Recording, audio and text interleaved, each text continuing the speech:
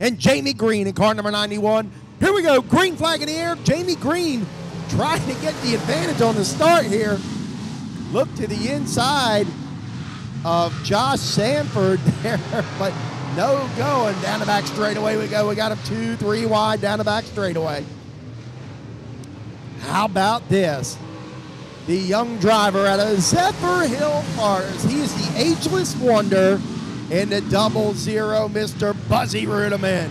Buzzie takes the beat built down the back straightaway for a Saturday afternoon stroll here in Norman Park, Georgia. He's working that mid to high line through turns number three and four. Buzzie Reutimann sets that blue gator ride in the groove, powers down the back straightaway. He only knows one speed, and that's flat out. Here we go with the legend through turns number three and four. He's going to lead another lap, starting to pull away from Dylan Buer. How about Jeff Matthews? He's looking for a way around Buer in car number 24B. Matthews looks quick in certain parts of the racetrack, especially down here turns number three and four. Dylan's got the groove that Jeff once looked like here. Matthews might have a good run on him this time, but no, Dylan Buer in car number 24B able to hold on to the second spot. Man, Matthews giving it all he's got. Meanwhile, Buzzie's out front just cruising around.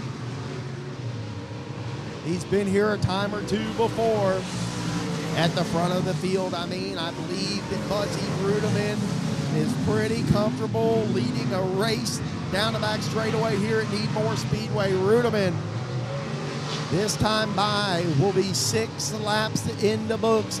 Can the legend in the Built Blue Gator Restaurant and Supply Dover Break Ride bring it home with a heat race win here tonight? Love to get an opportunity to interview him in a feature win here tonight. He's got to make it through the heat race. One lap to go for the Beak Built. Double zero of Buzzie Reutimann. Reutimann plants the car. It turns number one and two, finds his groove, sets the car straight down the back straightaway. Here we go, one final time. Through turns number three and four. Here he is, the legend, Buzzie Reutimann in for the win. Double zero David Reutimann. Here we go, green flag in the air. Brian Bernhardt, car number 69 out there as well. Watch Bernhardt. So they didn't like that. I was kind of skeptical how them guys were coming around turns number three and four. All right, Flagman's looking them over. Green flag in the air. Bernhardt.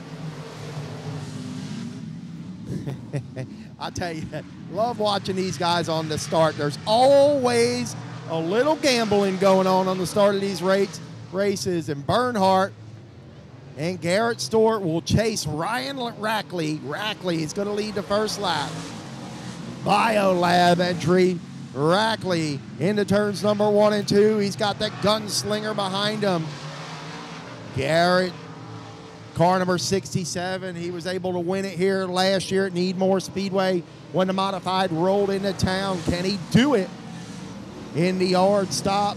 Car number 67 this year. You see him flirting with that cushion up top here.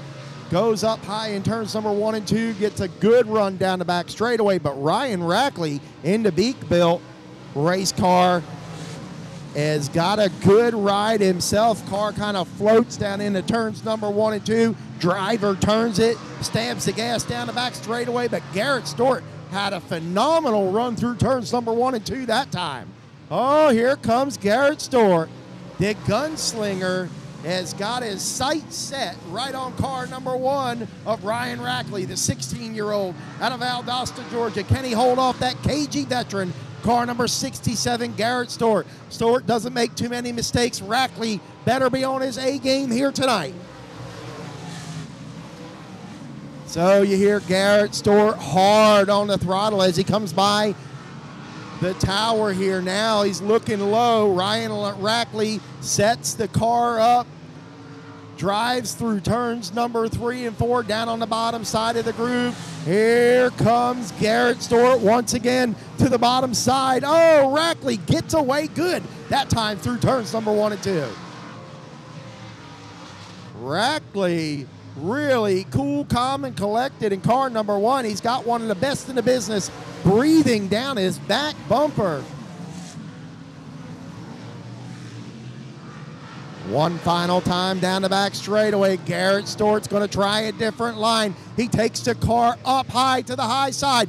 Garrett Stewart now with a run, but it's going to be Ryan Rackley. Garrett Stewart did that a lap too late, ladies and gentlemen. 72B and Clay Harris in the 21J. So, ladies and gentlemen, here we go. Green flag is in the air. Couple of discount towing entries on the racetrack right now. Both of those cars are 72s. How about Clay Harris now working to the inside of Todd Nieheiser? Nieheiser will settle back into that third spot in the discount towing ride. We got two of them back there. All right, Clay Harris has got his sights set on Dalton Lanning. Dalton, car number 51 at Astor, Florida. Looking good here at the stripe. Got Benny's Racing Equipment on the on the side of car number 51. Wilkerson Farms on the side of car number 21J. How about Clay Harris now lurking to the bottom of the racetrack, looking for a bite down there. That rescue metal framing entry looking good with the wood down in turns number one and two. He flat footed it down there through there that time, baby. How about it? Clay Harris to the point. All right, Clay Harris. Nice to see the young driver up front here tonight. He's been struggling a little bit lately, but man, love to see the young guys up front. Harris now leads him. Here comes Todd Nieheiser back to that second position. He'll get by Dalton Lanning, car number 51.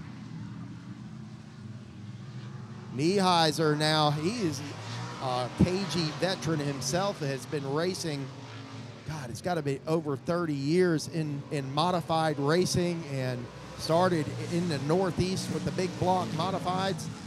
Now races out of the Panama City, Florida area in the dirt car UMP division, races all around. Wherever he can, you'll see Todd Nieheiser in car number 72, whether it's Volusia Speedway Park during Dirt Car Nationals or here at Needmore Speedway. He is one of the top supporters for this division, no matter where they're at now. Down the back straightaway, one final time. Clay Harris, a driver out of Jupiter, Florida, now residing in the Trenton, Florida area, in for the win here tonight in the Griffin Motorsports. Car number 21J